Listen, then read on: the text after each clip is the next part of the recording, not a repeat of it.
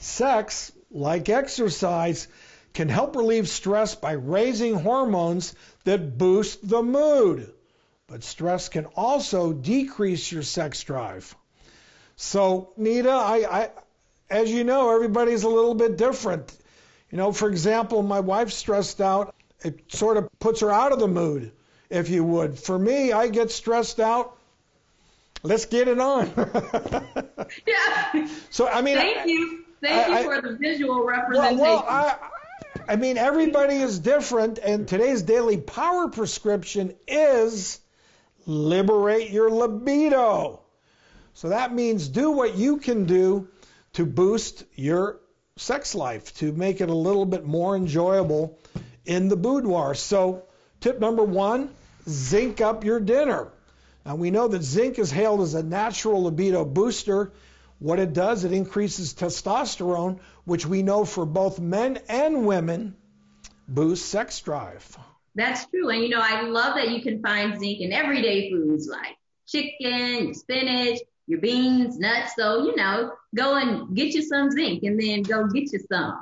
Like get it, like get you some zinc, get you some. go get yourself some zinc. Our second tip, and I, I briefly touched on this, is is have a one-on-one, communicate, talk. You're not going to resolve anything. You're not going to know what your partner is thinking unless you have an open con- conversation about what's bothering you, what you would like to add to the mix if you feel that you'd like to try something you've never done before or whatever. Or what you would like to take away from the mix? Well, exactly. It's it's the pros and the cons. And number 3, let's create a little novelty there. Let's mix it up. You know, studies have shown that if you mix it up a little bit, you're more likely to have an enjoyable and positive relationship with your partner. So how's that sound, Dr. Nita?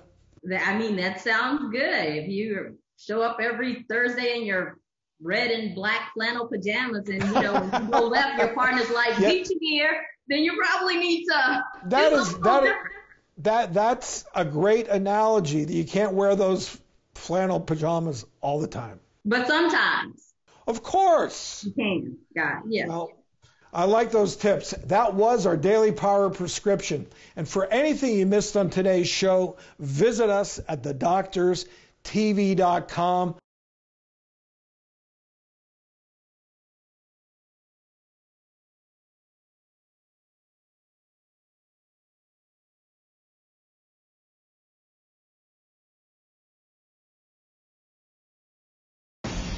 We're living in uncertain times. It's tough to keep up with the latest medical headlines. About the market, panicked about COVID. And how do those headlines impact you and your family? 100,000 people died. On season 13 of The Doctors, we want to empower you physically. If I met them at dance, they would meet me at medicine. Man, I love that emotionally. If I can change my thoughts, I can change my feelings. And medically. He doesn't have his mask up, which is not a good thing.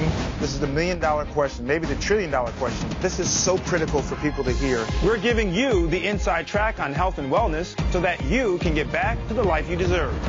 It's time to take back your power. The Doctors, now more than ever. Premieres September 21st.